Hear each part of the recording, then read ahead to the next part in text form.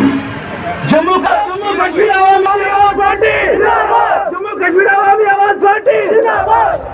दोस्तों मेरे अजीजों हम सलाम करते हैं। हम सलाम करते हैं यहाँ के लोग। उनके सबर को जिन माओ ने बहुत कुछ खोया है हम उन्हें सलाम करते हैं उनके सबर को सलाम करते हैं।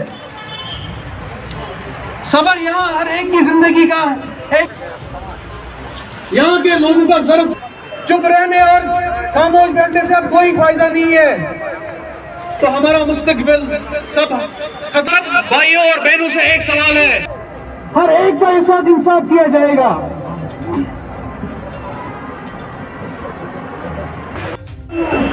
वो लुटा हुआ अवतार वो लुटी हुई इज़्ज़त वो खामोश इंशाल्लाह हम ज़रूर कामयाब होंगे पार्टी कश्मीर आवामी आवाज़ पार्टी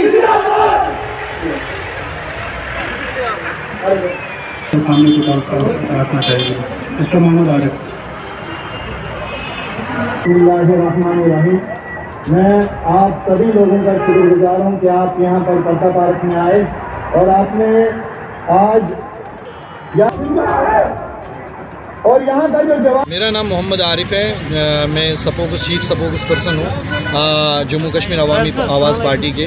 और मैं कुछ चीज़ों को यहाँ पर ज़रूरी समझता हूँ कहना। वो ये है कि यहाँ पर जो कन्वेंशन आज हमारा प्रोग्राम हुआ ये प्रोग्राम सिर्फ़ तीन मुद्दों पे ज़्यादा था।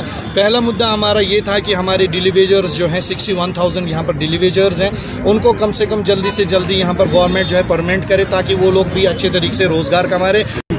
दूसरा बड़ा ये है वो ये है कि हिजाब जो मुसलमानों का हक है जो मजहबी आज़ादारी हमें अपना यहाँ का जो कानून है जो भारत का संविधान है वो पूरे डेमोक्रेसी कंट्री है हमारी और यहाँ का संविधान हमें डेमोक्रेसी डेमोक्रेसी में जीने के बाद ये हक देता है कि हम अपने तरीके से अपने कानून से जिए जो हमारा संविधान है वो मजहबी आज़ादारी देता है। कोई भी इंस्टीट्यूट में फिर से रिपीट करना चाहूँगा कि कोई भी इंस्टीट्यूट हम यहाँ के भारत के संविधान से बड़ा नहीं हो सकता है। हक था ये चीज़ था कि हम हमारी जो 370 में यहाँ पर कोई ज़मीन नहीं खरीदा था खरीद सकता था। उसकी वजह ये थी कि उसमें हमारी जो है यूथ जो था कम से कम टूरिज़्म में जो है सरवाइव करता था टूरिज़्म में वो अच्छे ये कमाता था।